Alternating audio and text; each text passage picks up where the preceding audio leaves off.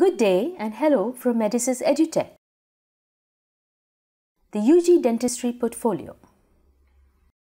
We are here to provide online and blended delivery of undergraduate and continuing education for the health sector. We are providing digital teaching and learning aids to comprehensively support outcome-based healthcare education.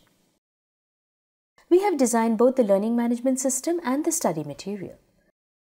We have prepared material for the disciplines of medicine, dentistry, homeopathy and nursing according to their respective curricula. Other streams like physiotherapy, pharmacy, etc. are in progress. Our product design and features. Our product is a set of digital books, so named as each of them has a page turn format. The entire digital page is divided into a left two-thirds of the screen which shows the subject content and the right one-third of the screen which shows the related and relevant exhibits. We have the readable text in bullet points and short paragraphs, easy to understand and to remember by the students. This digibook is embedded with exhibits on every page in the form of rich illustrations, video clips, animations on the right side column of the page. The image or video can be enlarged by clicking on it and thus can be utilized for a more detailed understanding.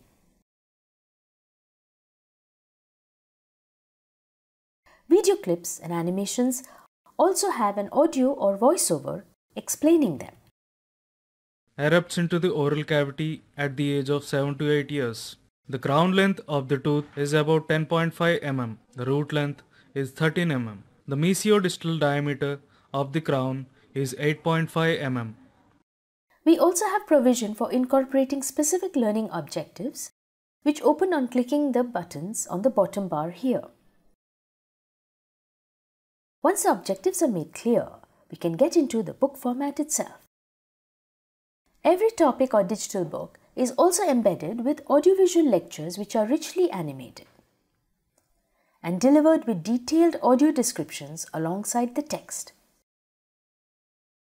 The central incisors, they are notated or only teeth which are in contact mesially little difference between the ridge and an edge we'll discuss later in the topic. These can be used for self-study by the students. The faculty can also utilize them to explain a particular topic, especially using the animations. We have a large compilation of questions for objective evaluation. They are linked to the digital books and appear in the same bar at the bottom of the page so that they can be utilized then and there for self-assessment, to brush up learning and to assess the class or group's understanding. That is, these can be used for both self-directed learning and for classroom evaluation. The very interesting and valuable feature of our compendium. We have detailed, high-quality live dissection modules with explanations and embedded text wherever required. It is equivalent to a student learning real dissection in a laboratory with our high-definition video quality and the expert audio description by the subject specialist. Thyroid gland is a butterfly shaped endocrine gland situated in the anterior midline of the neck opposite to 5th, 6th, 7th and 8th cervical vertebra and 1st thoracic vertebra. It is a highly vascular endocrine gland situated in front of the neck. The thyroid gland is covered by two capsules. Let's learn about the capsules. Thyroid gland has an outer covering called as outer false capsule and an inner covering called as inner true capsule. The outer false capsule is derived by splitting of the pretracheal fascia whereas the inner true capsule is formed by the condensation of fibrous connective tissue stroma of the thyroid gland. Attachments of the false capsule.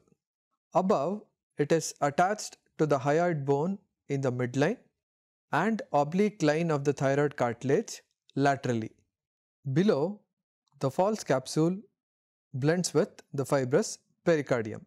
From the medial surface of the lateral lobe, this false capsule is thickened to form ligament of Berry which connects the medial surface of the thyroid gland to the cricoid cartilage. This ligament of Berry is responsible for movement of the thyroid gland up and down during deglutition. The applied importance of the false capsule. Now, in the thyroid gland, between the false capsule and the true capsule, the space contains parathyroid glands and trunks of the blood vessels of the thyroid. The venous plexus of the thyroid gland is situated deep to the true capsule and hence during surgical removal of the thyroid, the gland is removed along with its true capsule. Now this is different from the prostate removal where the venous plexus is situated between the true capsule and the false capsule. Hence, during surgical removal of the prostate, the true capsule is left behind whereas in thyroid gland removal, the thyroid gland is removed along with the true capsule. Parts of the thyroid gland. Thyroid gland consists of two lateral lobes. Let's begin with reflection of the skin. Separate the superficial fascia from the skin without damaging the subcutaneous nerves, vessels and fibers of platysma which lie immediately deep to the skin. Roof of the posterior triangle. Roof of the posterior triangle is formed by skin, superficial fascia and platysma. After reflecting the skin, we can see the superficial fascia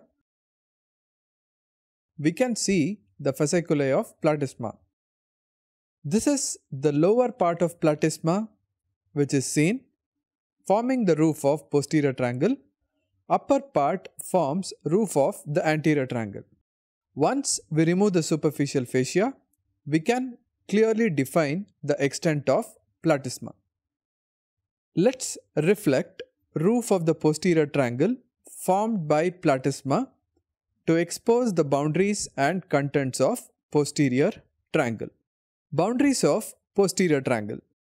Posterior triangle is bounded anteriorly by the posterior border of sternocleidomastoid, posteriorly by the anterior border of trapezius. This is the anterior border of trapezius. And base of the triangle is formed by middle third of clavicle.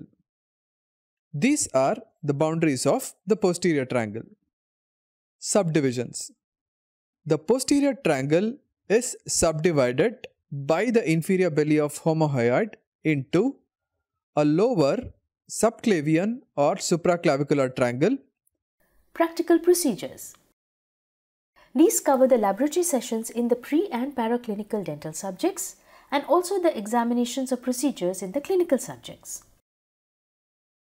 These are also video-based modules combined with appropriate text, including a detailed audio description of the indications, the steps of the procedure, best practices, etc. for each particular topic. Keep all apparatus clean and dry. Take adequate RBC fluid in a watch glass. Prick the finger under aseptic conditions. Coming to the precautions. Puncture should be deep enough to allow spontaneous flow of blood. Do not squeeze the finger as squeezing expresses tissue fluid. Wipe off first drop of blood as it is mixed with tissue fluid. While sucking the blood, the blood column should not be fragmented nor should it contain air bubble. Coming to the procedure, suck the blood up to 0.5 mark of the RBC pipette. Then immediately suck the diluting fluid up to 101 mark.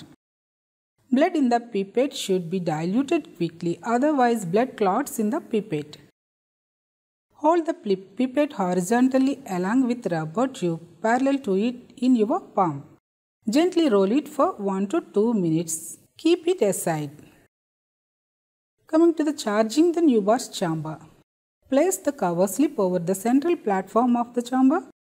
Mix the contents of the bulb thoroughly. Discard few drops of fluid from the pipette as stem contains only diluting fluid. Place the tip of the pipette in between the edges of cover slip and chamber. Gently press the tube. Then the drop of fluid will spread under the cover slip by capillary action. Then wait for 1 to 2 minutes to allow the cells to settle down. Coming to the observation. Focus the Neubauer's chamber under low power objective of the microscope to look for the uniform distribution of cells. Acid hematine method. For this method, we need Sahli's hemometer, N by 10 hydrochloric acid, distilled water, pricking apparatus and of course we need a sample of blood. The hemometer which consists of a rectangular box, comparator fixed with two solid standard colored glass rods on either sides and it has an opaque white background which provides the necessary contrast for easy comparison. A glass tube which is graduated in percentage from 0 to 140 on one side and in gram percentage from 2 to 22 on the other side. Now, the hemoglobin pipette is marked up to 20 cubic mm. If the blood is drawn, it amounts about 0.02 ml of blood. And the other one is a glass rod which is used as a stirrer and a dropper to add the distilled water. Principle Blood is mixed with N by 10 hydrochloric acid resulting in conversion of the hemoglobin into acid hematine which is brown in color. Then the solution is diluted till its color matches with the brown colored glass rods of the comparator box. The concentration of the hemoglobin is read directly from this experiment. Now, let us move on to the procedure. Clean the apparatus and ensure that they are dry. Then, fill the diluting tube with N by 10 hydrochloric acid up to the lowest mark that is up to 10% or 2 gram per deciliter. Now, clean the figure and allow it to dry. Draw the blood with hemoglobin pipette up to 20 cubic mm mark in the pipette. Then, wipe off any blood adherent to the tip and immediately transfer the blood into the diluting tube and rinse well. Avoid foaming. Then mix the contents thoroughly with the glass rod. Leave the solution to stand for about 10 minutes for the maximum conversion of hemoglobin of the blood into acid hematine, which is the basic principle behind this experiment. In the clinical dental subject specialities, we have various practical videos to help the students understand and even practice the processes at home. For example, this is a video showing the reactions of glucose. It sequences stepwise the procedures of all the tests with clear audio description to help the students understand as well as recall that learning easily. Take 2 ml of glucose solution, add 2 drops of 1% alcoholic alpha naphthol and mix the solution. After that add 2 ml of concentrated H2SO4 along the sides of the test tube. A purple color ring is formed at the junction of two liquids. Benedict's test. This is performed using Benedict's reagent. So in this we have to take 5 ml of Benedict's reagent. To that add 8 drops of glucose solution and boil for 2 minutes. Brick red precipitate is seen. Barfoed's test. To 3 ml of Barfoed's reagent, add 1 ml of glucose solution and boil for about 1 minute. Brick red precipitate is seen at bottom of the test tube. Seliwanoff's test. To 3 ml of reagent, add 1 ml of sugar solution and boil for 1 minute. Cherry red color is not seen with glucose. Let us learn the requirements of this experiment. The requirements are biuret reagent, protein standard, and distilled water. We also require three clean dry test tubes for blank, standard, and test respectively. We also require micropipettes along with respective disposable tips. We will be requiring a timer to note down the time. Finally, to take the absorbance of the test solutions, we require a colorimeter. This video shows the carving of a permanent maxillary molar. A systematic and easy way to perform the required carving skill, which supports the students' practice of it at their homes and at their convenience. 7.5 mm on the wax block.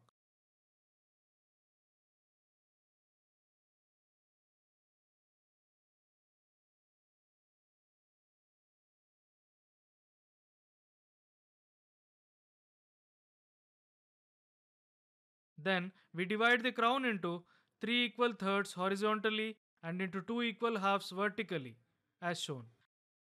I recommend you to have an extra 0.5 mm measurement for later adjustments.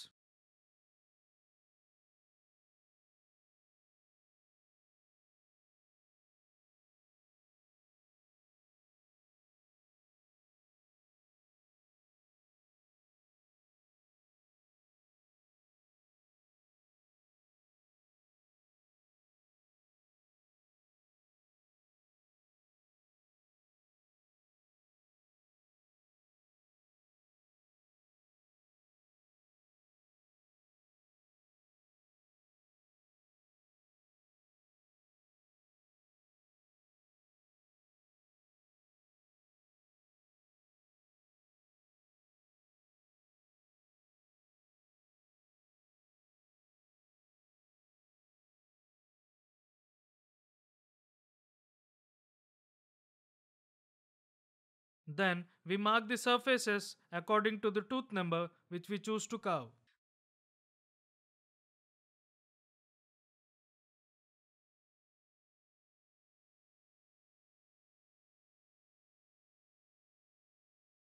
Now remove the excess wax and round off the edges on the palatal and buccal surfaces.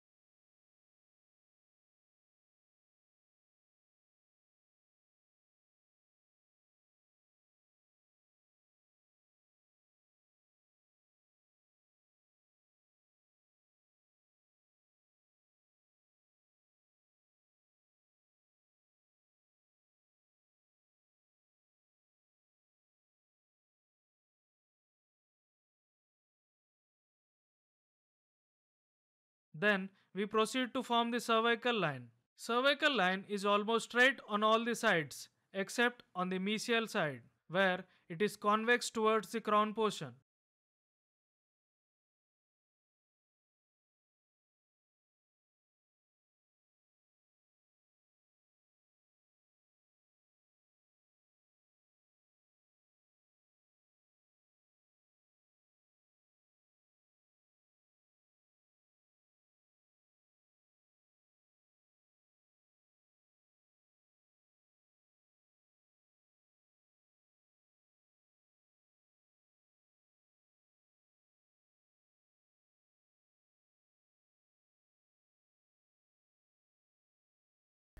This video from the subject dental materials is showing the correct skilled manipulation of alginate impression material.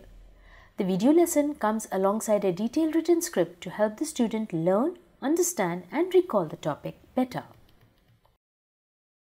The objective of this demonstration is manipulation of alginate impression material. Alginate is a irreversible hydrocolloid impression material. It is available as a powder which can be mixed with water to a required consistency and used as an impression material. The uses of alginate impression material are making primary impressions of dentulous and edentulous patients, for cast duplication, for making impressions to prepare diagnostic or study models, for manipulation of alginate impression by manual method, we need a flexible rubber bowl, a curved spatula, a measuring jar and a scoop. Before the start of dispensing alginate, the alginate in the jar is mixed thoroughly by moving the jar around. This helps in getting a homogeneous mix of the material inside. There are procedure videos related to the preclinical subjects too. This lesson shows a class 1 cavity preparation done on a typodont. Class 1 cavity preparation for composite. It should include all pits and fissures. Follow the cuspal outlines.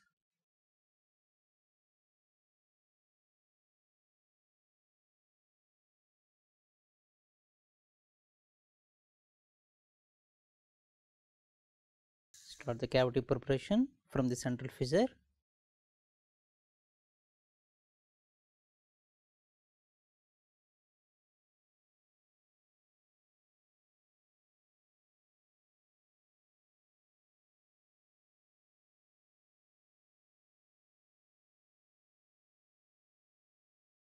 Prepare initial cavity depth of 0.2 to 0.5 mm. Now increase the depth.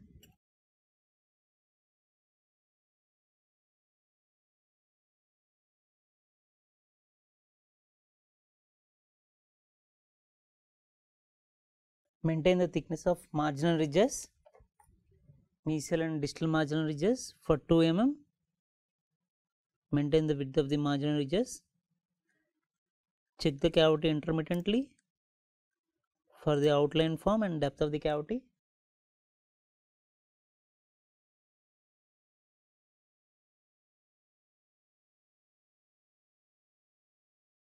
Similar to amalgam restoration, for the composite restoration, the cavity should be convergent, not divergent, and the wall should be smooth.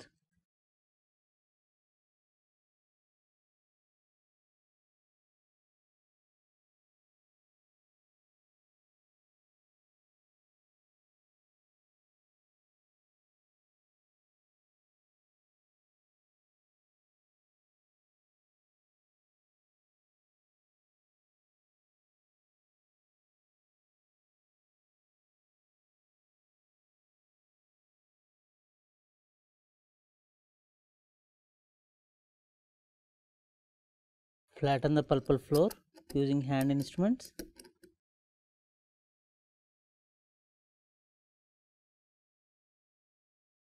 Remove any debris remnant using cotton swab. Now the cavity is ready for composite restoration. Armamentarium for composite restoration, composite carrier, etchant, bonding agent, composite restorative material, applicator tip, glass slab for dispensing the composite. Place the etchant on the tooth surface, on the cavo surface margins. Leave for 20 seconds. Remove the etchant first using cotton swab.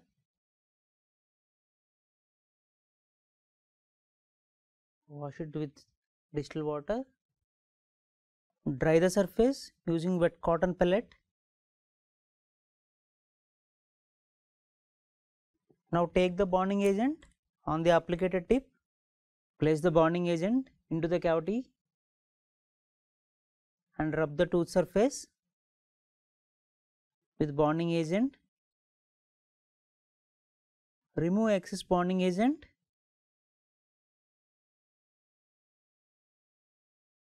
Then cure for 20 seconds.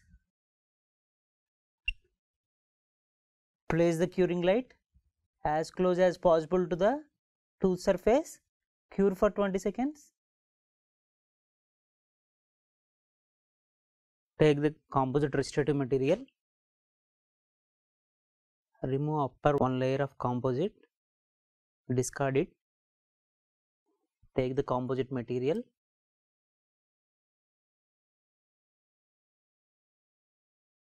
Onto the side of glass slab.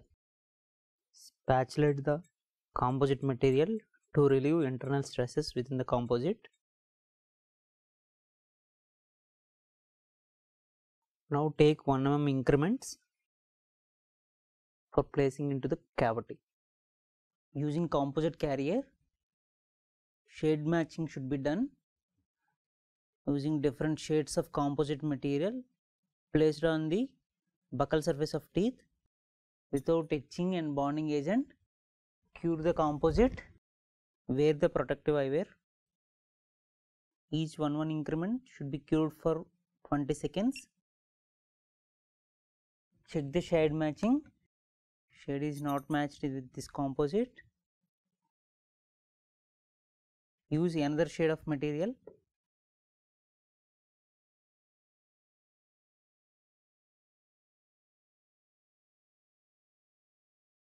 This video lesson shows the process of taking a preliminary impression in a thorough yet easy way for the young dental learner. The objective of the demonstration is to make a preliminary impression of an edentulous maxilla. For this, a type 1 impression compound and a edentulous metallic die are used. For convenience, the exercise is broken down into 6 steps. The first step is selection of a tray, a edentulous metallic non-perforated stock tray is taken. The second step, modification of the tray. The third step, manipulation of the impression compound. The fourth step is loading the tray with the impression material. Fifth step is making of an impression and the sixth step is trimming of excessive impression material.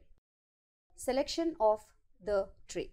Select metallic edentulous non-perforated stock tray which extends over the metal die, covers all the anatomic landmarks of the metal die, anteriorly extending into the labial sulcus, laterally into the buccal sulcus and posteriorly extending over the hamular notch and the posterior palatal seal area.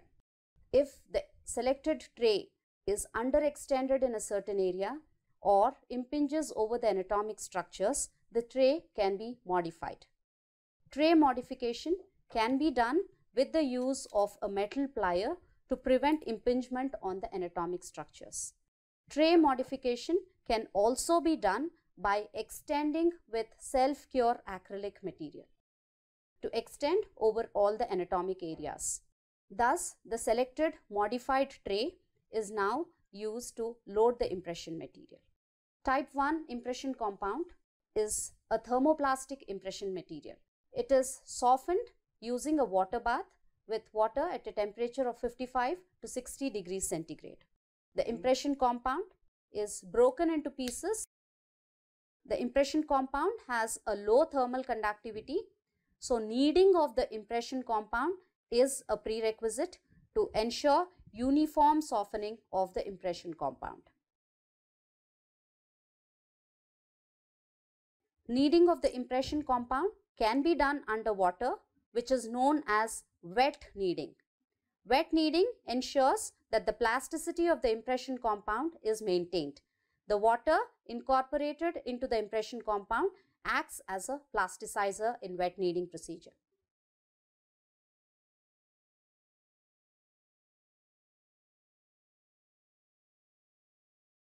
The objective of this demonstration is review of the anatomic landmarks of the edentulous maxilla. This model is a positive replica of the edentulous maxilla. The colored portions of the model show the anatomic areas.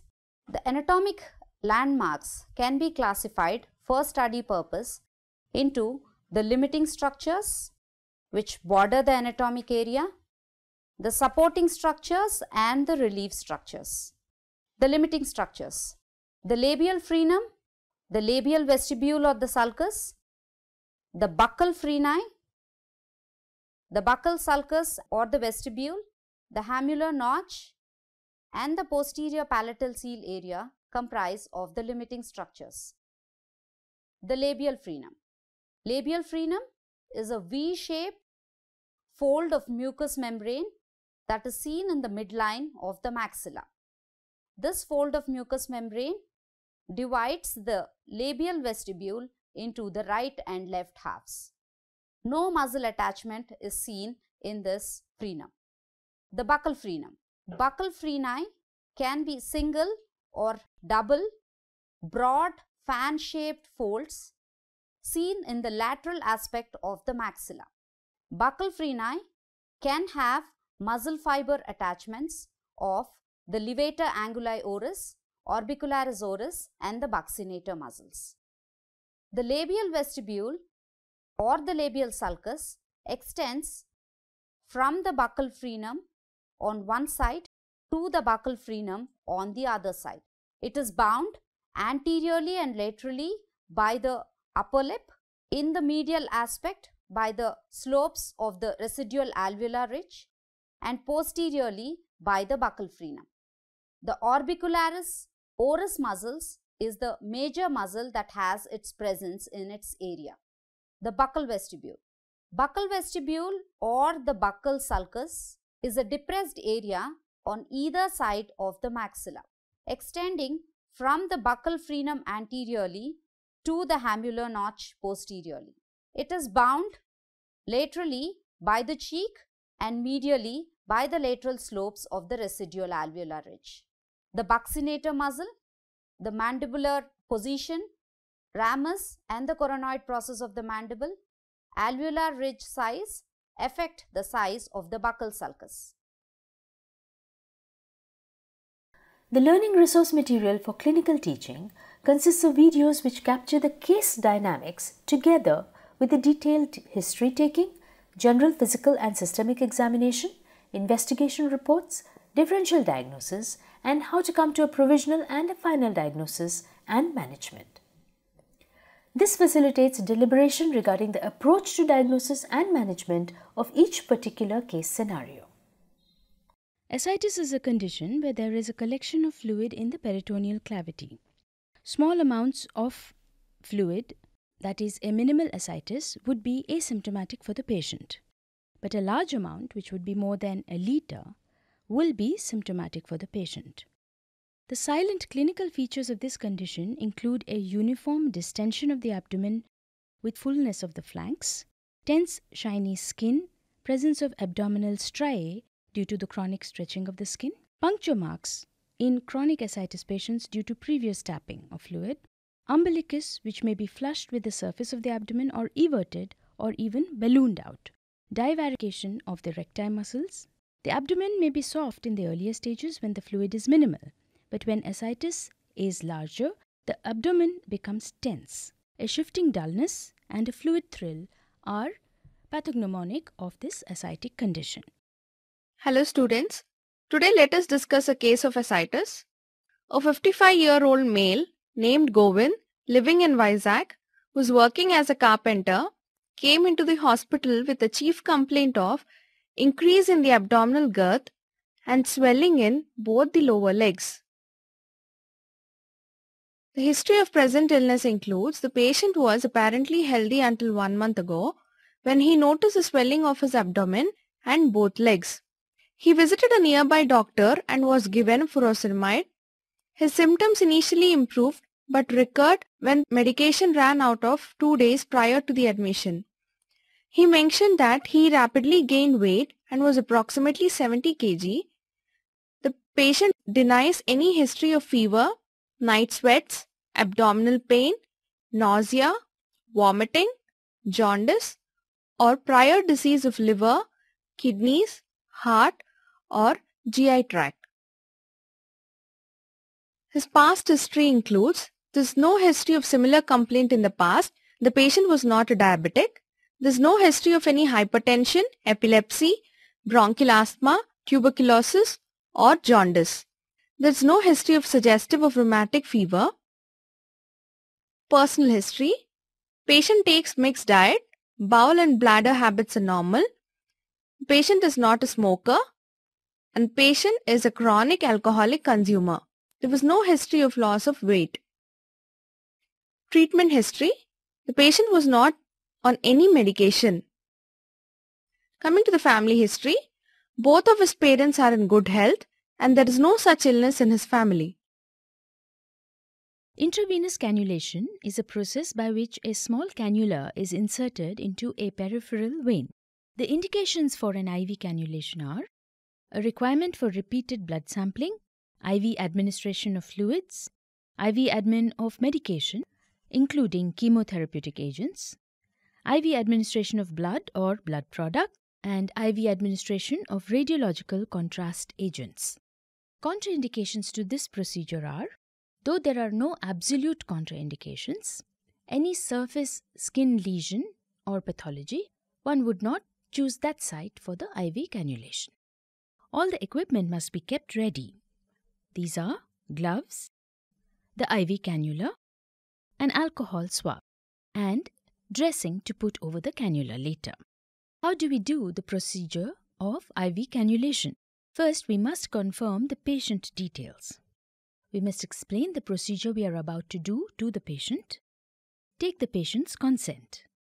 We must clean the hands, wear the gloves, position the patient's arm properly, inspect the arm for a suitable vein, apply a tourniquet proximal to the site of the insertion. In this procedure which we are seeing, the skin site is cleaned for 30 seconds and allowed to dry.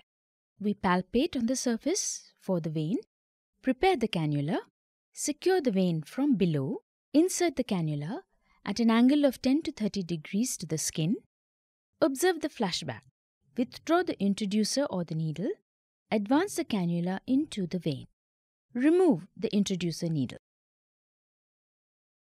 We also have various clinical videos for the final year students.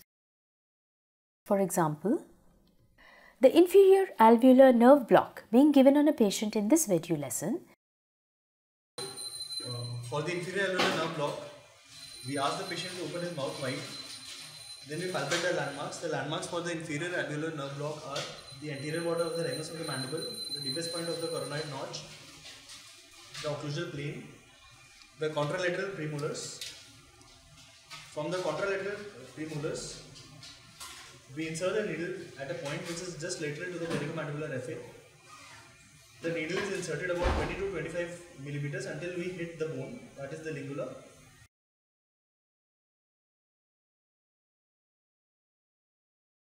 We aspirate and deposit about 1.5 to 2 ml of the solution very slowly.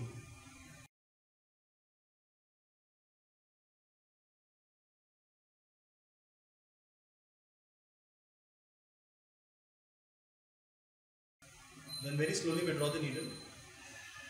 Ask the patient to close his mouth. Open and close his mouth once or twice. For the inferior alveolar nerve block, the landmarks are the anterior border of the ramus, the deepest point on the coronoid notch, the opposing premolars. We move from the contralateral side and about 20 to 25 millimeters of the needle is inserted. We proceed inside until we hit the bone. The moment we hit the bone, we are quite near to the lingula. The height of the injection is about 5 to 6 mm above the occlusal plane. We aspirate and we deposit about 1.5 to 1.8 ml of the solution very very slowly after aspiration. For the lingual nerve block, we withdraw the needle, move medially and then deposit about 0.5 ml of the solution to block the lingual nerve.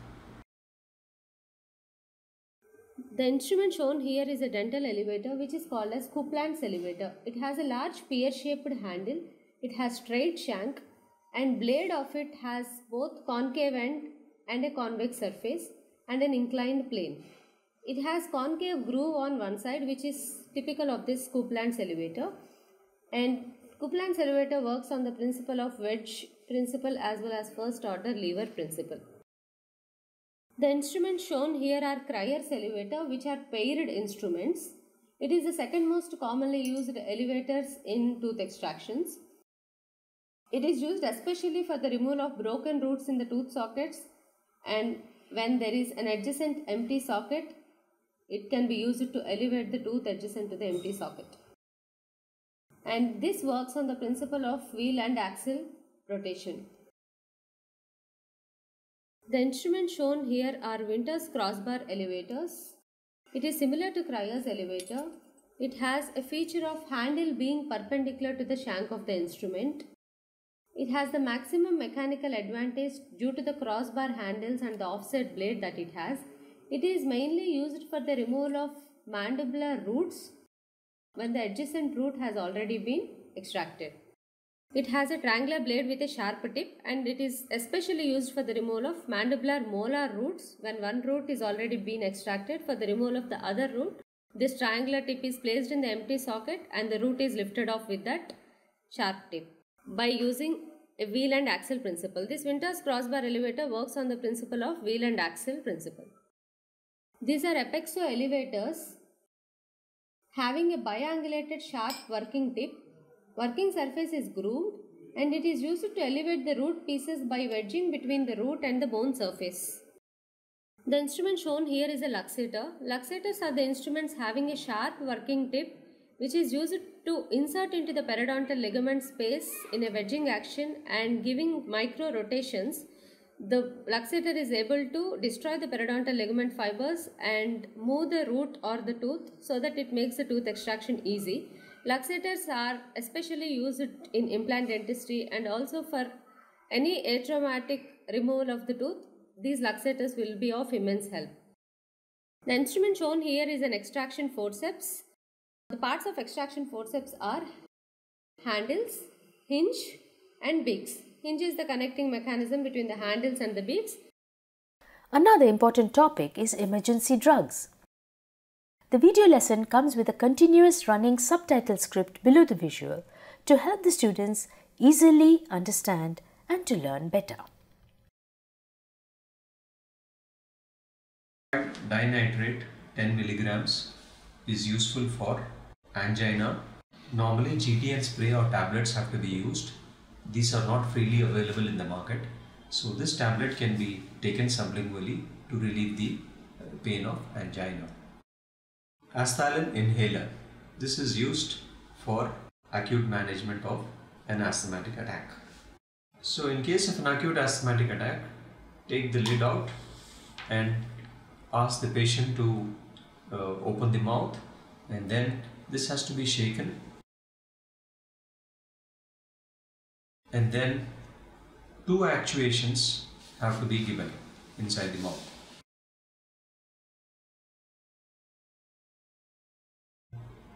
The inhaler can also be given through a spacer device and after 5 minutes if there is no response it can be repeated.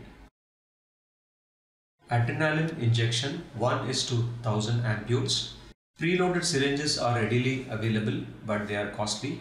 In case of an emergency, a preloaded syringe will give you that extra time and avoids unnecessary delay. In case of non-availability of preloaded syringes, these ampules are of a huge help. This ampule, uh, 1 ml has to be loaded into the syringe and has to be delivered into the lateral thigh muscle. Soluble aspirin 325 milligram tablets used in the acute management of myocardial infarction. The tablets have to be chewed and not swallowed.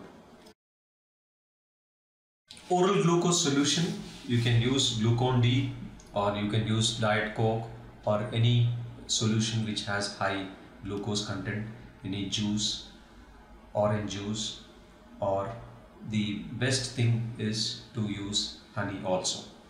In case of a conscious patient, an oral glucose solution is given. And in case of an unconscious patient, glucagon 1 milligrams intramuscularly has to be given. this video lesson shows the important basic process of taking an intraoral radiograph for diagnostics, a type of learning not usually made available to dental students in the conventional classroom teaching. Demonstration of intraoral radiographic technique. The armamentarium used is a mouth mirror, gloves, local anesthesia if required, and a film. I'll be demonstrating how to take an intraoral radiograph in a clinical setup. Let us begin by understanding the various parts of an X-ray machine. This is a fixed stand. The fixed stand has a control panel. The control panel is used to adjust the exposure time of a radiograph. This is the movable arm. The movable arm connects the X-ray housing to the fixed stand.